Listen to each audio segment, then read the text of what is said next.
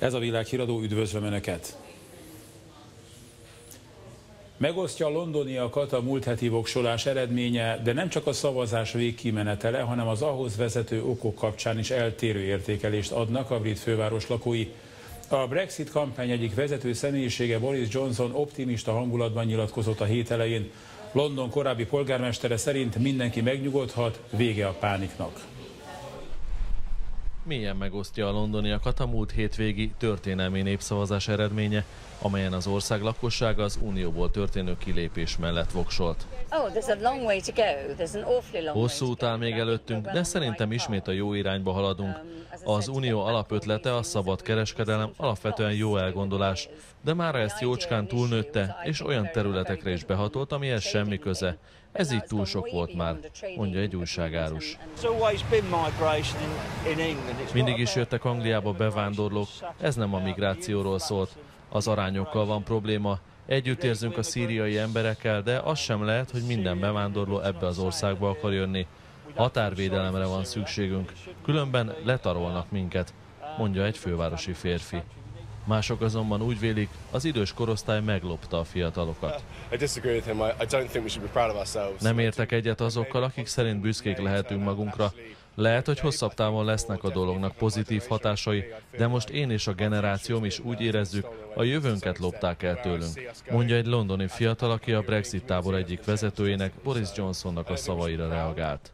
A politikus arról beszélt, a britek büszkék és optimisták lehetnek, a döntés esetleges negatív következményei pedig annak előnyei messze túl fogják szárnyalni. Vége a pániknak, nem lesz vészköltségvetés. Az emberek nyugdíja biztonságban van, a font árfolyama és a piacok stabilak. Ez jó hír mindenkinek. A hétvégén ugyanakkor nagy zavart láttunk az embereknél, ezért világossá kell, hogy tegyük, minden joguk garantálva lesz azoknak a más európai országokból érkező állampolgároknak, akik most itt élnek. Mindenkinek az az érdeke, hogy tisztességes és emberbarát rendszer működjön nálunk. Fogalmazott Johnson, aki többek szerint kifejezetten jó esélyekkel rendelkezik ahhoz, hogy a miniszterelnöki székben David Cameron kövesse. A kilépés körül még most is sok a kérdőjel, ami nem is csoda, korábban még nem volt precedens arra, hogy az Európai Uniónak hátat fordítson egy korábbi tagállam. Az alapjogi karta 50. cikkeje alapján a briteknek a bejelentést követően két évük van letárgyalni a Brexit menetét, de egyelőre még az sem tisztázott, hogy mikor és ki fogja hivatalos formában is értesíteni Nagy-Britannia kilépési szándékáról Brüsszelt. Biztonsági ellenőrzések késleltethetik Fallujah újjáépítését. Ez volt az első iraki város, amit az iszlám állam elfoglalt még 2014 elején. A hadsereg hétvégén bejelentette, hogy több mint egy hónapnyi harc után visszafoglalta a települést és környékét. Csoportképet készítettek iraki katonák a faludzsai hídnál, amelyre tavaly akasztotta fel egyik társukat az iszlám állam. A hadseregnek most végre sikerült visszafoglalnia a várost a dzsihadistáktól. Lezártuk a harcokat és teljesen felszabadítottuk Faludzsát. Voltak csapdák, de már az egész területet az ellenőrzésünk alatt tartjuk. Itt állunk a híd alatt, ahol a társunk mártír halált halt, mondta egy tiszt. A katonák már múlt héten elérték a város központot, de csak vasárnap tudták visszafoglalni az utolsó olyan negyedet, amely még a terroristák kezén volt. Még el kell fogniuk a megszökött dzsihádistákat, és hatástalanítaniuk kell az általuk hátrahagyott pokolgépeket. Hazaengedjük a menekülteket, amint megbizonyosodunk róla, hogy minden biztonságos. A katonák ezért áldozták életüket. Újra kitűzhetjük az zászlót Faludzsára, ahogy korábban Tikritre, Ramadira és majd Moszóra is, mondta a kormányfő. Az iszlám állam még 2014 elején foglalta el Faludzsát. A hadsereg és szövetségesei fél éve körbevették a várost, ahol az elmúlt hónapokban élelmiszer hiány lépett fel. A település visszafoglalását május végén kezdték meg. Rendőrségi adatok szerint 1086 terroristát fogtak el a menekültek között. 850 irakit és 230 külföldit. A harcok előtt ezerre becsülték a számukat. Tudomásom szerint még 170-180 terrorista bujkálhat a városban, mondta egy katonai szakértő. A kormány szerint a harcokban több mint 1800 dzsihádistát öltek meg. A várost több mint 86 ezeren hagyták el. A 15 és 60 év közötti férfiak közül a hatóságoknak még 25 ezer embert kell átvilágítaniuk, hogy kiszűrjék a terroristákat. A menekülteket nem engedik be Bagdadba és más városokba. A táborokban kell maradniuk, hogy ellenőrizzék a személyazonosságukat. Az iraki gazdaság nem tud mit kezdeni velük. A legjobb megoldás, ha hazaküldik őket. A hadműveletet síita milíciák segítették, amelyeket azzal vádolnak, hogy többeket megöltek a faludzsai szunniták közül. A város újjáépítését nem csak a hátrahagyott pokolgépek lassíthatják. Megfelelő adatbázisok nélkül a menekültek ellenőrzése is tovább tarthat. Az örmények ellen elkövetett népírtás szélesebb körű elismerésére számít Jereván, miután az országot felkeresve Ferenc pápa is népírtásnak bélyegezte az 1915-ben történteket. Jelenleg két tucatnyi ország adott ki olyan hivatalos nyilatkozatot, amelyben valóban megtörtént történelmi eseménynek ismerik el az örmény népírtást. Az oszmán birodalom idején történt mészárlást Törökország nem tekinti népírtásnak, és rendszerint tiltakozik az ellen, hogy más országok annak ismerjék el. Néhány hete Berlin és Ankara között okozott feszültséget a kérdés. Június elején a Német Szövetségi Parlament elsőprő többséggel népírtásnak minősítette a 101 éve kezdődött véres eseményeket. Bár még dolgoznak rajta, mégis felavatták a Riói olimpia kerékpáros versenyeinek leendő helyszínét. A létesítménynek már régen el kellett volna készülnie, a kivitelező viszont csődöt jelentett, a munkát ezért egy másik cégre bízták.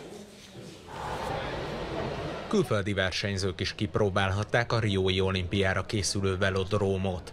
A létesítmény a kerékpáros versenyek helyszíne lesz a nyári ötkarikás játékok idején. Nagyszerű pálya, bár még nem készült el teljesen, már most nagyon jól használható. Biztos nagyszerű versenyek lesznek itt az olimpián, mondta egy svájci kerékpáros. A velodrómot annak ellenére avatták fel, hogy még folynak rajta a munkálatok. A riói polgármester szimbolikusan átadta a létesítmény kulcsát a Brazil Olimpiai Bizottság elnökének. Minden versenyhelyszín időben elkészült, ami jól mutatja, mire képes az országunk. Ez a pálya kivétel, de megígértük, hogy kész lesz, mondta a városvezető. Az újságírókat csak egy területre engedték be. A létesítményt úgy adták át, hogy a befejezetlen részeit eltakarták. A ceremónián jelen volt a Nemzetközi Olimpiai Bizottság ügyvezetője is. What you see here in the back? Amit mögöttem látnak, jól tükrözi, mit láthatnak majd a játékok idején.